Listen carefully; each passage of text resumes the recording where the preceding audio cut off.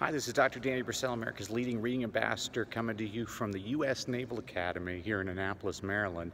And this sign says it all.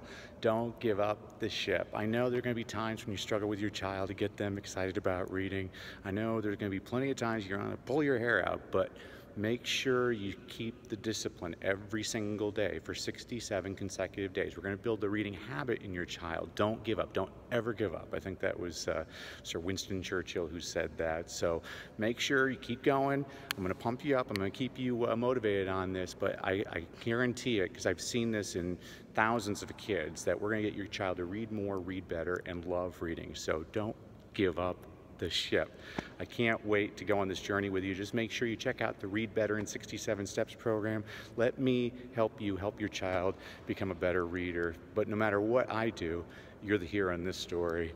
You are your child's greatest teacher, and you make a difference every single day. Don't give up the ship.